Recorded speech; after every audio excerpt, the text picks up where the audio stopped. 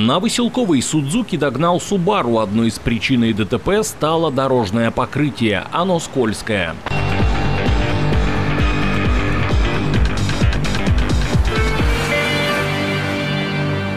Два автомобиля Suzuki Swift и Subaru Forester двигались по Василковой в сторону Рудневского моста. Впереди шел Субарик, за ним поспевал Свифтенок.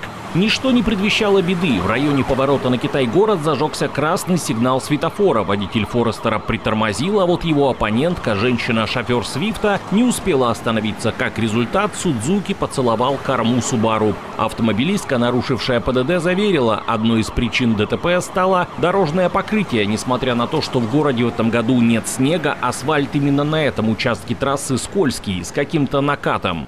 Ну так ладно, дорога какая скользкая. АБС-ка включилась и все, и повело машину.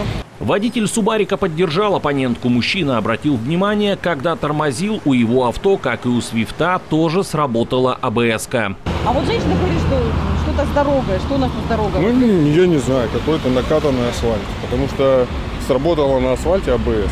Вот, Что у меня, хотя скорость была 30 км в час, не больше.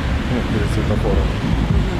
Ну все нормально, а вы не пострадали, если Нет, всё хорошо? В результате ДТП машины получили различные, но не критичные повреждения Судзуки и Субару на ходу. Водитель пострадавшего автомобиля посчитал, что ремонт железа выльется в копеечку 100 тысяч. На восстановление машины не хватит, поэтому решили вызвать на место происшествия наряд дорожно-патрульной службы.